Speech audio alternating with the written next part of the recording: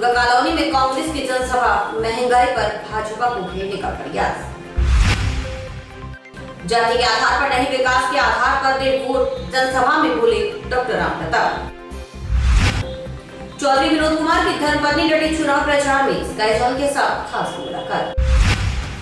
अब समाचार विस्तार से। एक तरफ़ जहाँ जिला प्रशासन विधानसभा चुनावों को लेकर व्यवस्था बनाने में जुटा है, वहीं जिला निर्वाचन अधिकारी मतदान प्रतिशत बढ़ाने के लिए भी प्रयासरत हैं। सरगम सप्ताह के तहत मतदाताओं को जागरूक करने के लिए आवश्यक प्रयास किए जा रहे हैं। इसी के तहत दिव्यांग मतदाताओं ने जागरूकता रैली निकाली। रैली को जिला निर्वाचन अधिकारी दिनेश चंद्र जैन ने झंडी दिखाकर रवाना किया।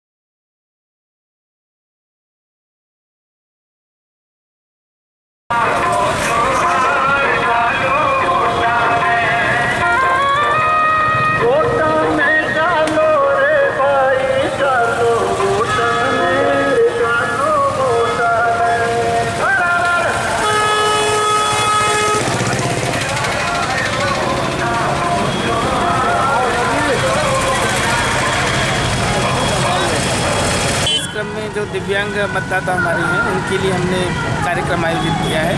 वे भी एक तो मतदाता सूची में अपना नाम जोड़ें और जिनका नाम जुड़ा हुआ है, वो भी निर्वाचन में हिस्सा लें। उस जागरूकता के लिए आज ही हमने रैली निकाली है और इसके माध्यम से कोशिश कर रहे हैं कि हम दिव्यांग मतदाता हैं, उनको हम प्रेरित करें और मतदान के लिए लेके आए। ये लोकतंत्र का सबसे बड़ा त्यौहार है। इसके अंदर सभी से निवेदन करते हैं कि एक दिन सात दिसंबर को अपना कीमती समय निकाल कर इस बड़े लोकतंत्र में सात दिसंबर को मतदान ज़रूर करने जाएँ। और आज जो इस कार्यक्रम में आज जिला निर्वाचन अधिकारी द्वारा जो कार्यक्रम किया जा रहा है, बहुत अच्छा कार्य है ये लोगों को जागरूक करने के लिए।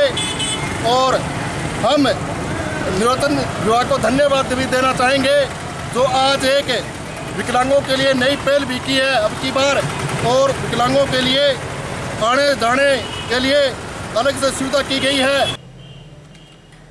जिला निर्वाचन अधिकारी ने बताया कि दिव्यांगों को लेकर बूथ लेवल पर अलग से व्यवस्थाएँ की जाएँगी। प्रत्येक बूथ पर दो वॉलेंटियर सुविधा के लिए लगाए जाएँगे। इसके अलावा जो लोग बूथ तक आने में असमर्थ हैं, उनके लिए प्रत्येक रिटर्निंग ऑफिसर को पाँच पाँच विकल्प उपलब्ध करवाए जाएँगे। ताकि दिव्यांगों को बूथ तक लाने की व्यवस्था की जा सके। दिव्यांगों के लिए विशेष व्यवस्था भी इस बार हमने की है। उसके तहत प्रत्येक मतदान केंद्र पर दो वॉलेंटियर इनकी सुविधा के लिए हमने लगाए हैं, जो इनको असिस्टेंस देंगे। इसके अलावा प्रत्येक मतदान केंद्र की जो साइट है, जो स्थान है, उस पर एक एक व्हील चेयर हम उपलब्ध कराएँगे। और ऐसे दिव्यांग मतदाता जिनके आने जाने का कोई साधन नहीं है अथवा उनको कठिनाई महसूस हो रही है उनको भी आइडेंटिफाई किया गया है। उन्हें लाने के लिए हमने पाँच पाँच व्हीकल प्रत्येक रिटर्निंग ऑफिसर को हमने दिए हैं। तो उसके माध्यम से मतदान दिवस के दिन उनको लाने का भी प्रयास करेंगे। विधानसभा चुनावी प्रचार पूरे चरण पर है। सत्ता वापसी के प्रयास में जुटी कांग्रेस हर वर्ग से संपर्क साध रही है। व्यापारी बाहुल्य दुर्गा कॉलोनी में कांग्रेस की जनसभा हुई। एक तरफ़ जहाँ कांग्रेस भाजपा के राज में बढ़ती महँगाई और भ्रष्टाचार के खिलाफ जनता के बीच है, वहीं भाजपा प्रत्याशी भाजपा के राज में हुए विकास के क्रम को जारी रखने की बात कर रहे हैं। कुल मिलाकर भाजपा और कांग्रेस दोनों के प्रत्याशी अपने कार्यकर्ताओं के साथ जनता के बीच में है। अपने चुनावी परिणाम अपने पक्ष में करने के लिए पूरी ताकत झोंक रहे हैं।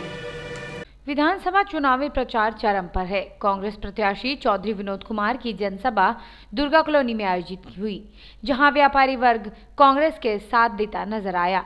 व्यापारी बाहुल्य वार्ड दुर्गा कॉलोनी में चौधरी विनोद कुमार ने कांग्रेस के राज में आमजन को मिली राहत और भाजपा के राज में बड़ी महँगाई पर सरकार को घेरा है।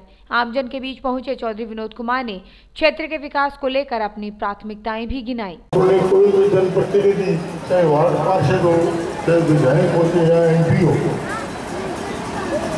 हमारी उम्मीदें होती हैं कि हमारे वार्ड में काम हो, हमारे शहर का विकास हो और जो हमारे मूलभूत जो सुविधाएँ हैं वो उनको उपलब्ध ये बात बिल्कुल सही है कि मौके पे लोग झूठ बोल करके और लोगों को बदला करके वोट तो ले जाते हैं। सरकार के बारे में जो पिछली भारतीय जनता पार्टी की सरकार पाँच साल से हम लोगों ने देखी। चुप हो जाओ बच्चों चुप हो जाओ बात करेंगे बात सुनो बड़ी सुनने की बात है। जब 2013 में भारतीय जनता पार्टी के प्रत्याशी वोट मांगने के लिए आए और मोदी जी ने मन से बड़े लंबे लंबे भाषण जनता में फेंके, लोगों को कहा पंद्रह लाख रुपए खाते में आ जाएँगे, देश में बड़ा भ्रष्टाचार हो गया, महँगाई की बड़ी मार हो गई तो मेरी माताएँ, बहनें, युवा साथी, सभी लोग उनके झांसे में आ गए। की लड़ाई में और इस स्वाभिमान की लड़ाई में दुर्गा का रूप धारण करके मेरे सामने बैठी मेरी माता और बहनों मुझसे पूर्व सभी वक्ताओं ने बड़े विस्तार पूर्वक बताया कि हमने पिछले पाँच सालों में जो गलती की है, भारतीय जनता पार्टी को सत्ता में लाए तो इन्होंने हमें सबसे पहले पंद्रह लाख का झांसा दे करके विधानसभा चुनावों के तहत राष्ट्रीय अध्यक्ष राहुल गांधी सहित अशोक गहलोत और सचिन पायलट का दौरा चुनावी परिप्रेक्ष्य की नज़र में खास देखा जा रहा है। दौरे को लेकर कांग्रेस कार्यकर्ताओं में उत्साह देखते ही बन रहा है। जंक्शन में कलेक्ट्रेट के सामने दशहरा ग्राउंड में होने वाली विशाल जनसभा को लेकर कांग्रेस कार्यकर्ताओं ने टाउन बाज़ार में कांग्रेस प्रत्याशी के पक्ष में नारेबाजी करते हुए लोगों को आमंत्रित किया। कार्यकर्ताओं ने पीले चावल बांट लोगों को जनसभा में पहुँचने की अपील की अब बदलेगा राजस्थान।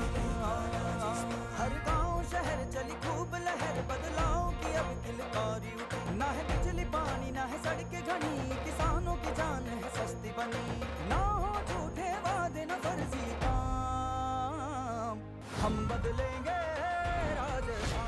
को मिले अधिकार और सम्मान। अब बदलेगा राजस्थान। विनोद कुमार राहुल गांधी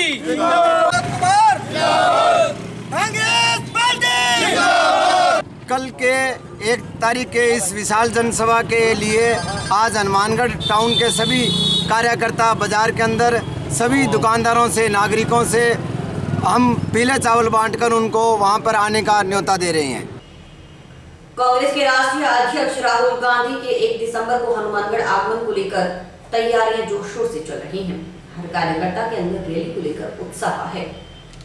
एक दिसंबर को कांग्रेस की एक विशाल रैली जंक्शन के रामलीला ग्राउंड में की जाएगी। जी हाँ, कांग्रेस के राष्ट्रीय अध्यक्ष राहुल गांधी एक दिसंबर को हनुमानगढ़ जंक्शन में कलेक्ट्रेट के पास दशहरा ग्राउंड में एक विशाल जनसभा को संबोधित करेंगे, जिसको लेकर कार्यकर्ताओं के अंदर जोश और उत्साह है। राहुल गांधी के हनुमानगढ़ दौरे को लेकर तैयारियाँ भी ज़ोर शोर से चल रही हैं, और अगर इनकी माने तो लगभग पचास हज़ार से अधिक भीड़ को जुटाने का इसमें लक्ष्य रखा गया है। बता दें कि राहुल गांधी के साथ साथ अशोक गहलोत, सचिन पायलट और पंजाब कांग्रेस कमेटी के सुनील जाखड़ भी मौजूद रहेंगे। कांग्रेस पार्टी की एक विशाल रैली हनुमानगढ़ में होने जा रही है कलेक्ट्रेट के सामने और समय रहेगा लगभग दोपहर में 12 बजे। हमारे कांग्रेस अध्यक्ष माननीय राहुल गांधी जी पूर्व मुख्यमंत्री अशोक गहलोत जी, प्रदेश कांग्रेस कमेटी के अध्यक्ष सचिन पायलट जी और सुनील पंजाब प्रदेश कांग्रेस कमेटी के अध्यक्ष सुनील जाखड़ जी, वो सभा को संबोधित करेंगे। एक विशाल सभा होने जा रही है कलेक्ट्रेट के आगे। सभी व्यवस्थाएँ पूरी हो गई हैं, मंच बन के तैयार है और सभी जो दर्शक दीर्घा, वो तैयार है और मैं अपील करना चाहूँगा सभी मेरे भाइयों से, जो भी मेरे इस कार्यक्रम को देख रहे हैं कि कल 12 बजे तो कलेक्ट्रेट के आगे आए और इस विशाल रैली का एक हिस्सा बने और राहुल गांधी जी के विचार, कांग्रेस पार्टी के नेताओं के विचार सुने और इस पार्टी को एक यादगार इस गैदरिंग को यादगार एक एक गैदरिंग बनाए। हमारा टारगेट है कम से कम पचास हज़ार आदमी इस रैली में भाग लेंगे। ज़िले से और बाहर से भी संगरिया पीलीबंगा वहाँ से भी लोग आएँगे गंगानगर से भी आएँगे सादुल शहर से भी आएँगे। तो कंजर्वेटिव एस्टिमेट कम से कम पचास हज़ार आदमी हो सकता है उससे ज़्यादा भी हो जाए दुगने भी हो जाएँ। पर मैं ज़्यादा बड़बोलापन से बचते हुए ये सही सच्चाई को बयान करते हुए ये मान के चलता हूँ कि कम से कम पचास साठ हज़ार आदमियों की गैदरिंग होनी चाहिए। खास बात है कि राहुल गांधी का हेलीकॉप्टर तारक चंद वाटिका में उतरेगा और उसके बाद कलेक्ट्रेट स्थित दशहरा ग्राउंड में वो जनसभा को संबोधित करेंगे। आगामी विधानसभा चुनावों के मद्देनजर युवा महिला शक्ति यात्रा की नायिका राजलक्ष्मी मांडा का हनुमानगढ़ भाजपा कार्यालय में जिलाध्यक्ष महिला मोर्चा गुलाब सिंवर और भाजपा महिला कार्यकर्ताओं ने ढोल नगाड़ों के साथ ज़ोर शोर से स्वागत किया और माला पहनाकर सम्मानित किया।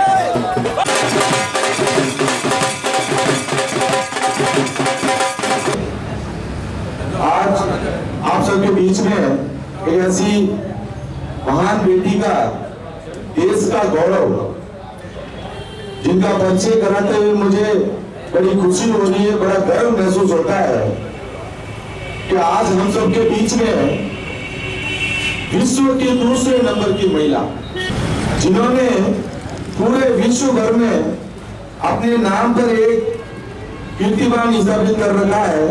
गिन्नस वर्ल्ड बुक में अपना नाम जिनका दर्ज है भारी ट्रक जो साढ़े सात टन का उसको खींचने का कीर्तिमान जिन्होंने अपने नाम पर दर्ज करवा रखा है, ऐसी बहन हमारे भारत की गौरव, देश की प्रथम महिला शक्तिशाली महिला बहन राजलक्ष्मी जी मांडा, हम सबके बीच में आज यहाँ पे उपस्थित है।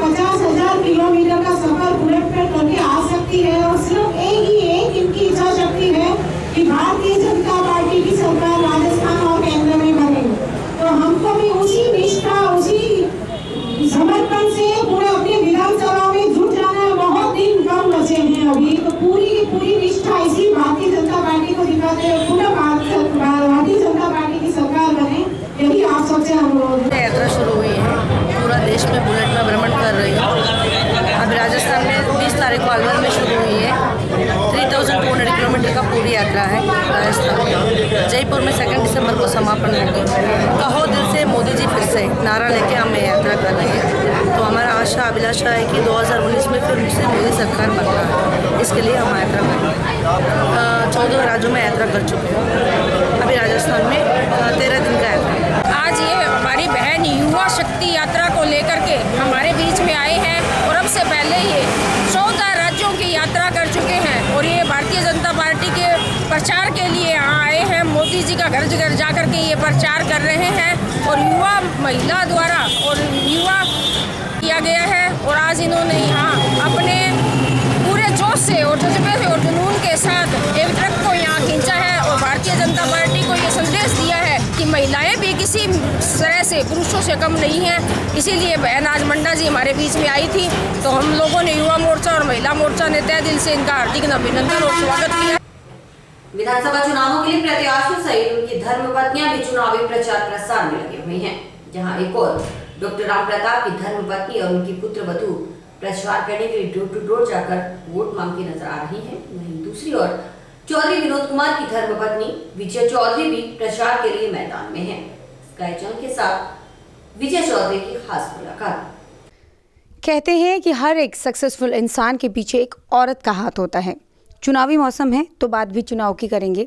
सभी प्रत्याशी अपनी अपनी धर्म पत्नियों के साथ, अपने, अपनी धर्म पत्नियों को सभी ने चुनाव प्रसार में लगाया हुआ है। हर कोई अपने अपने मुद्दे के साथ जनता के सामने है, जहाँ बीजेपी विकास के मुद्दे को लेकर सामने जा रही है। वहीं कांग्रेस के पास में महँगाई और शिक्षा जैसे कई मुद्दों की भरमार है बीजेपी को घेरने के लिए। और आज हम इन्हीं प्रत्याशियों में से एक, चौधरी विनोद की धर्मपत्नी विजया चौधरी जी हमारे साथ मौजूद हैं। उनसे बात करेंगे, क्योंकि अक्सर उनको कई चुनावी जनसभाएँ करते हुए देखा गया है, लोगों से वोट मांगते हुए देखा गया है। जानेंगे उनसे कि क्या है उनके चुनावी मुद्दे और किस तरह का रिस्पॉन्स उनको मिल रहा है जनता से। सबसे पहले विजय जी आपका बहुत बहुत स्वागत है स्काई चैनल में। धन्यवाद। मैडम आपसे जानना चाहेंगे कि जैसे कि आप वोट मांगने जा रहे हैं तो आपके मुद्दे क्या हैं? किन मुद्दों को लेकर आप जनता के सामने जा रहे हैं इस बार? एक तो ये कि भाजपा ने कहा है कि बेटी बचाओ बेटी बेटी पढ़ाओ। सबसे पहले कि जो हनुमानगढ़ क्षेत्र है महिलाओं के लिए, बच्चियों के लिए शिक्षा में पिछड़ा हुआ है। यहाँ के इतने बड़े नेता होते हुए, डॉक्टर होने होते हुए हनुमानगढ़ की जनता को आशा थी कि यहाँ कोई एक एजुकेशन इंस्टीट्यूट खोली जाएगी, पर निराशा ही हाथ लगी। दूसरा मुद्दा ये कि नोटबंदी। महिलाओं, माताओं ने पैसा पैसा तिनका तिनका जोड़ के पैसा रखा था। उनका सब ओपन हो गया। और जो उनने जोड़ा था वो उनसे छीना गया। तो अब वो असहाय महसूस कर रही हैं। आप आप वोट मांगने जा रही हैं लोगों को कन्विंस करने जा रही हैं कन्विंसिंग पे जा रही हैं। किस तरह का लोगों का रिस्पांस मिल रहा है? क्योंकि पाँच सालों में पाँच साल पहले और अब आप पाँच साल बाद जब दोबारा जा रहे हैं लोगों के सामने तो किस तरह की रिएक्शन आपको मिल रहे हैं? देखो हमेशा प्राकृतिक का नियम है कि जैसे जैसे समय की परिवर्तन होता है आशाएँ बढ़ जाती हैं। और समय के साथ में आशाएँ बढ़ने से आशाएँ भी बढ़ जाती हैं। वो सारी मांगें तो पूरी नहीं हो सकती। हर वादे करते हैं, हर वादे कई अधूरे रह जाते हैं, पर प्रयास जारी रहते हैं। मेरे को तो इतनी बात का ही दुख है कि जो राजीव गांधी के अंदर सरकार के गवर्नमेंट सरकार जब बनती है तो वो सरकार सारी जनता का पैसा होता है। जनता किसकी होती है? सरकार की होती है। सरकार जो बनती है, वही आती है। अपना नाम बनाने के लिए दूसरे नाम मिटाने में लग जाती है। काम नेक हों वादे अनेक कर लेती हैं और वादों को पूरा नहीं कर पाती। तो आपको क्या लगता है कि अगर चौधरी साहब जीत जाते हैं तो हनुमानगढ़ के लिए आप एज अ वुमेन सबसे पहले क्या चाहेंगे कि हाँ ये चीज़ हनुमानगढ़ में होनी चाहिए? मेरे को मेन समस्याओं का पता चला है कि बुढ़ा पेंशन और जो कांग्रेस के राज में पैंतीस किलो कनक मिलती थी इस बीजेपी सरकार के आने से पाँच किलो कनक मिल रही है। युवाओं को नौकरी नहीं मिल रही, जो कि पढ़े हुए हैं। जब इनकी सिलेक्शन हो जाती है तो वो कहते हैं, जी, इस इंस्टीट्यूट की मान्यता नहीं है। तो पहले मान्यता के बताई जाए कि इन, इनकी मान्यता है, उनको गुमराह मत किया जाए, क्योंकि पढ़ाना बहुत मुश्किल है। महँगाई चरम सीमा पे पहुँची हुई है तो इसकी मेरे को बड़ी पीड़ा हो रही है। बिल्कुल जैसे कि आपने अभी थोड़ी देर पहले बोला था कि शिक्षा एजुकेशन के क्षेत्र में हनुमानगढ़ में बहुत ज़्यादा लड़कियों के लिए बहुत ज़्यादा कुछ नहीं हुआ है। तो इस युवाओं के लिए भी मैडम यहाँ पे कुछ फ़िलहाल अभी कोई रोज़गार का कोई ऐसा साधन नहीं है कि वो पढ़ लिख के यहाँ पे ही कुछ रोज़गार करें। तो आपको क्या लगता है कि अगर आपकी सरकार आएगी तो सबसे पहले आप युवाओं के लिए ऐसा क्या करेंगे कि वो बाहर पलायन ना करें?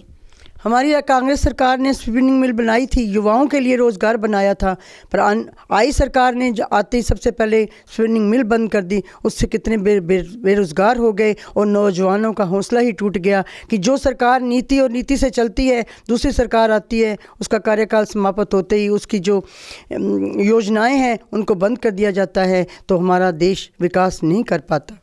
बिल्कुल पॉलिटिकली से थोड़ा सा पर्सनली आपसे पूछना चाहूँगी। पॉलिटिकली चौधरी विनोद जी के बारे में ये है कि वो हंसमुख है, मृदभाषी हैं। पॉलिटिकली कैसे हैं आपके पति? पर्सनली मेरे पति बहुत ऑनेस्ट हैं, बहुत मधुरभाषी हैं और सबको मान सम्मान देते हैं, चाहे कोई भी काम वाला आए। काम होना, ना होना ये कानून के हाथ में है, पर उनका प्रयास जारी रहता है कि जो मेरे पास आया है, उसकी डिज़ायर चलनी चाहिए और वो निराश नहीं होना चाहिए। महिलाओं के लिए क्या करेंगे आप हनुमानगढ़ में कि जो हाउस वाइफ हैं स्पेशली उनके लिए आप क्या कहेंगे कि इनके लिए ये चीज़ बेस्ट होनी चाहिए? क्योंकि आपने बोला अभी थोड़ी देर पहले कि महँगाई भी बढ़ी है बीजेपी के राज में। तो आप क्या चाहेंगी कि अगर चौधरी विनोद जी जीत जाते हैं तो हाउसवाइफ महिलाओं के लिए हनुमानगढ़ में क्या खास आप करेंगी। महिलाएँ सबसे ज़्यादा दुखी हैं गैस से जो कि एक हज़ार रुपये का हो गया है। ताही वहाँ ताही वहाँ हो रही है। मेरा प्रयास ये रहेगा कि सम कम से कम रसोई का बजट जो वो अच्छा होना चाहिए जिससे कि माताएँ बहनाएँ परेशान ना हो। माँ का काम है भोजन खुलाना और घर को चलाना। घर चलाना अति कठिन हो गया है। विजय जी आप मेरे ख्याल से इकोनॉमिक्स की स्टूडेंट्स रह चुकी हैं। तो आपको क्या लगता है कि हमको अपने स्तर पर कुछ इन्फ्लुएंस को कम करने के लिए कुछ उपाय करने चाहिए। कुछ, कोई, कुछ छोटी छोटी चीज़ें जिससे कि हम बहुत ज़्यादा डिपेंड ना रह सकें दूसरों पे। करने को तो बहुत कुछ है, पर इंसान के दिल में जुनून नहीं रहा काम करने का, क्योंकि ऐसी परिस्थितियाँ पैदा हो गई हैं कि जिससे वो मजबूर हो जाता है कि भी मैं कर नहीं पाता, असहाय हो जाता है। समाज में इतनी दुष्टता, इतनी करप्शन इतना बढ़ गया है, नशा बढ़ गया है कि वो करने में असहाय हो जाता है, उसका दिल टूट जाता है क्योंकि उसका शरीर साथ नहीं देता। जब शरीर साथ नहीं देता तो मन गिर जाता है, मन जब गिर जाता है तो वो हौसले से खड़ा नहीं हो पाता। तो मैं सबसे पहले ये चाहती हूँ कि नशा कम हो, नौजवानों को रोज़गार मिले, बहनाओं को महँगाई कम हो तो उनका जीवन वो परिवार में खुशहाली ला सके। बिल्कुल विजय जी, जैसे कि आप सब महिलाएँ, सभी प्रत्याशियों की जो जितनी भी धर्मपत्नियाँ, मुझे लगता है हर कोई चुनावी मैदान में, मुझे लग रहा है लगभग लगभग हर एक के पूरी पूरी फैमिली चुनाव मैदान में है, लोगों को रिझाने के लिए हैं। तो एज अ वुमेन आपको कितना सपोर्ट मिल रहा है लोगों को आप हर बार ही चुनाव मैदान में होती हैं लगभग, और आपका जो बैकग्राउंड है शायद वो भी पॉलिटिकल ही है आपके पीहर से। तो आपको क्या लगता है कि हनुमानगढ़ की जनता आपको कितना सपोर्ट दे रही है इस बार? परिवार हमेशा संगठता से चलता है। मेरा परिवार राजनीतिक है और हमारा यही से दिनचर्या होती है कि जो कोई आया है उसका काम हो। हनुमानगढ़ संयोग तो बहुत देता है। बहुत हमें चाहता भी है। हम बार बार आते हैं तो हमारे पर कोई दाग नहीं, कोई धब्बा नहीं। पर हम चाहते हैं कि जैसे हम हैं, वैसे सब बने। पर हमारा सहयोग देने वाले जो लोग हैं, वो अपना हौसला छोड़ जाते हैं, क्योंकि वो बुराई की तरफ़ चलाते हैं। बुराई में एक खासियत है कि वो अपनी तरफ़ ज़्यादा खींचती है। इसलिए मैं भी चाहती हूँ कि नागरिकों, आप अच्छे रहो, अच्छे को चुनो, अच्छे आपके काम आए। ये नाम मिटाने के लिए नहीं होते, ये नाम लगाने के लिए होते हैं। क्या हो गया? अगर वाराणसी को इलाहाबाद प्रयागराज कर दिया तो उसमें लाखों करोड़ों रुपए खर्च कर दिए। एक वल्लभ भाई पटेल की मूर्ति से क्या देश का विकास हो गया?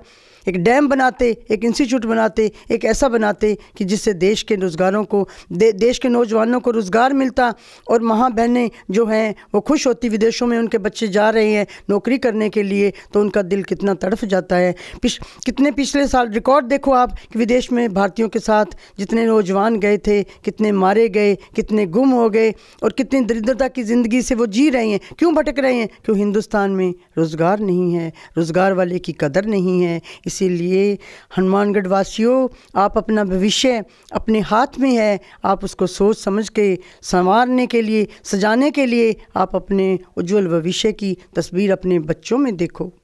क्या लगता है इस बार तो जो रूठे हुए हैं, वो भी मन गए हैं पार्टी में? कई कार्यकर्ता बीजेपी के भी कांग्रेस में शामिल हुए हैं, जैसे कि अभी आप देख ही रहे हैं, कई सारे लोगों ने कांग्रेस को ज्वाइन किया है।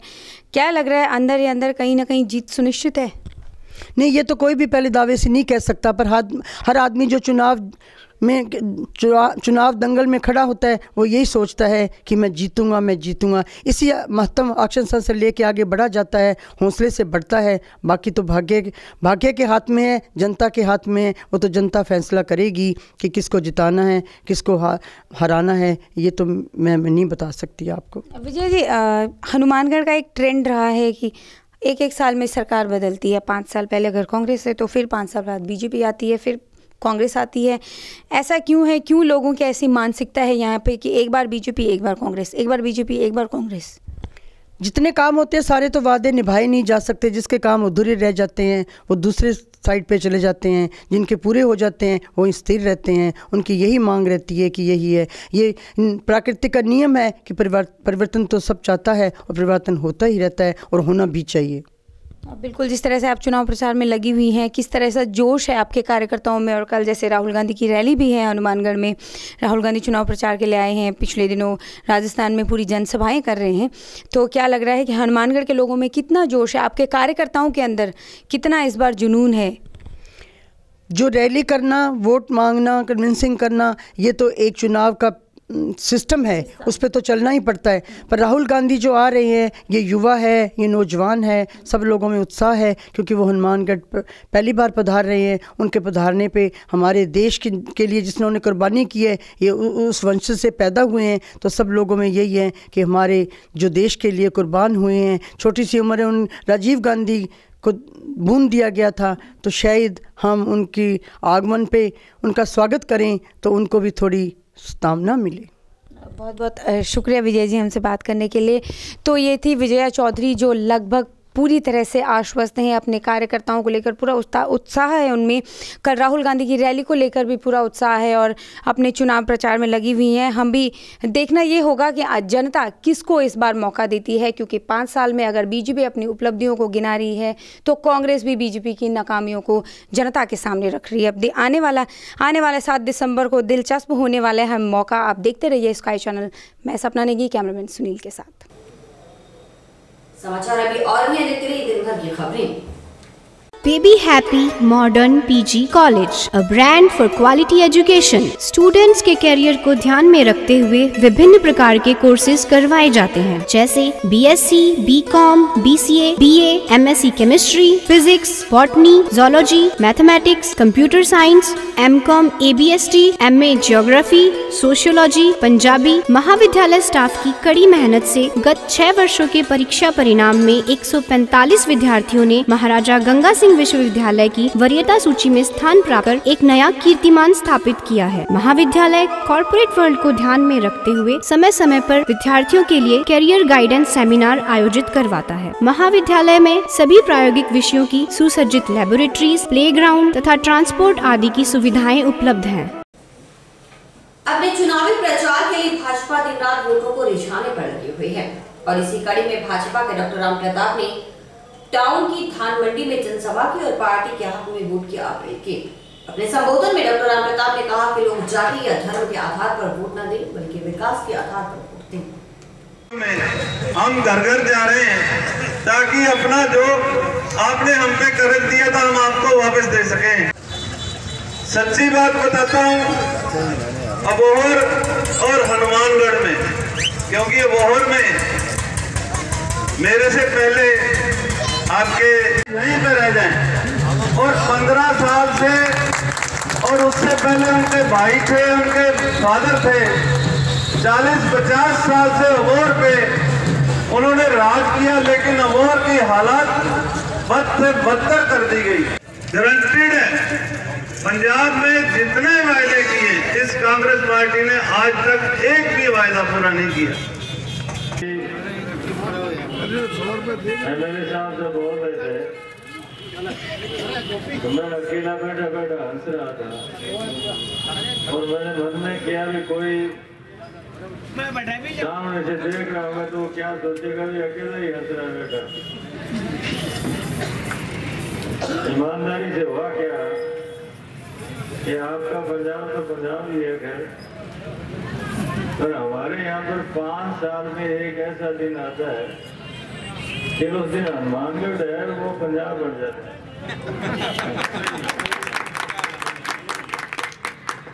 मतलब वैसे तो हिसाब से तो बड़ी शर्म की बात है। जिस दिन नॉमिनेशन होता है ना तो वहाँ से पंजाब की गाड़ियाँ, झंडियाँ लगी हुई। बाबों को इतना पता नहीं स्पीकर भी आपने अबोर के नेता का लगा रखा है। मेरे जैसा भोला दे के भी गाड़ियाँ कांग्रेस की जा रही है, नंबर वगैरह कोई देखता नहीं है तो थोड़ी गलतफहमी रहती है।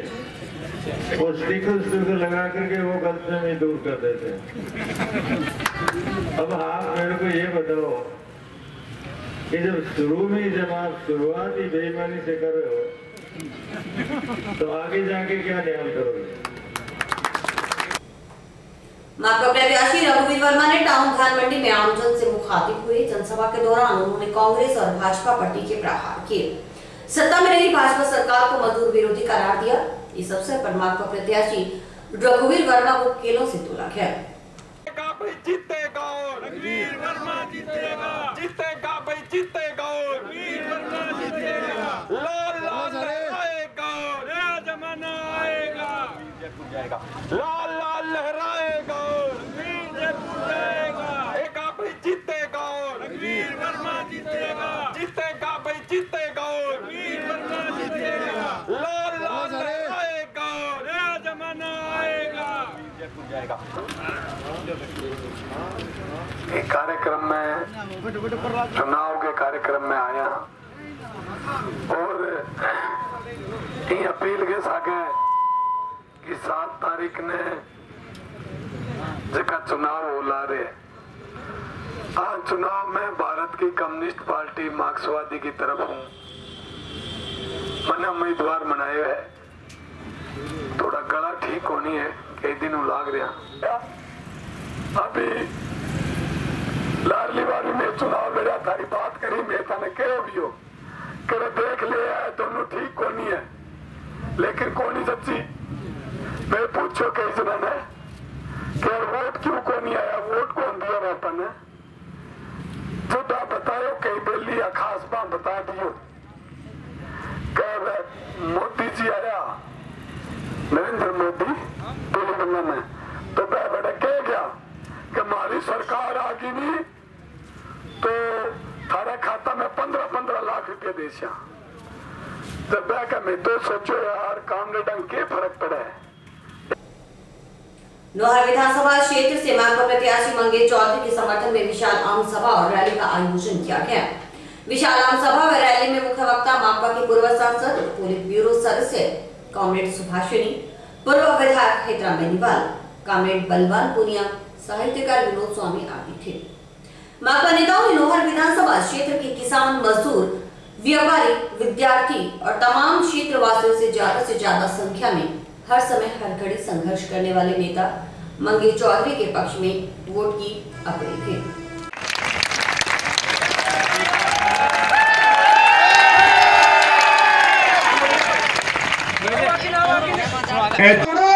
साथी को विनोद सोनी और साथी सुभाष सारण।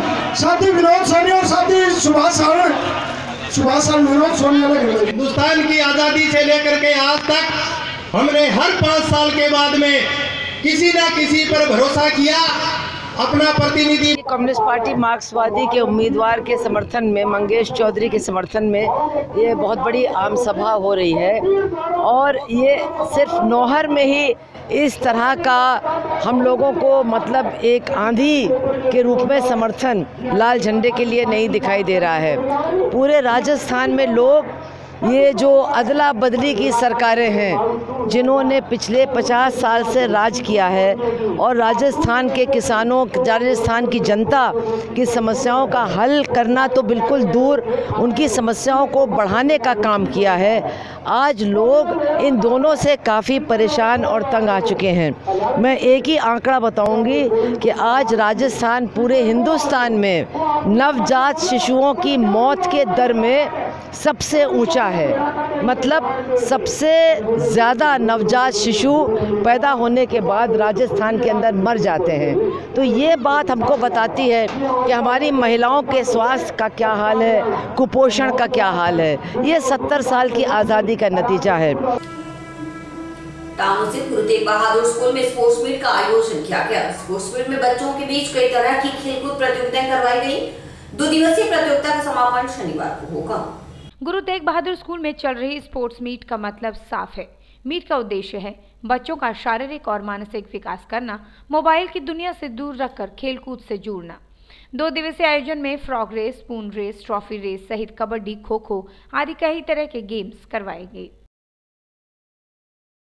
आज गुरु तेग बहादुर पब्लिक स्कूल के बच्चों का स्पोर्ट्स मीट रखी गई है। दो दिवसीय स्पोर्ट्स मीट है। इससे हमारा उद्देश्य यही है कि बच्चों में खेल की भावना विकसित की जाए।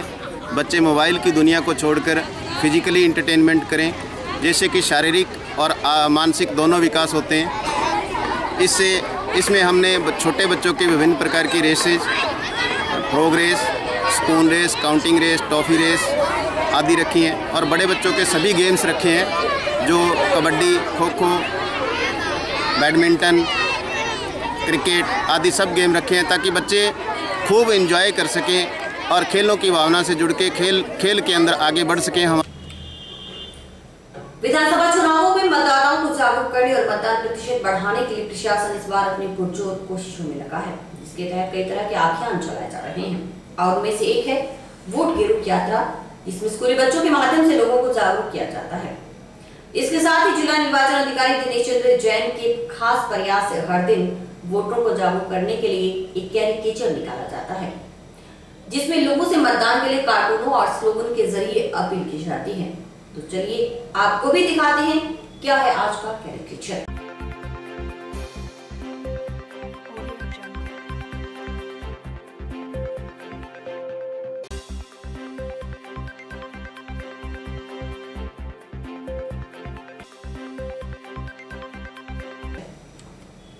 और इसी के साथ समाचार समाप्त हुए। रोज़ाना देखते रहिए समाचार। नमस्कार।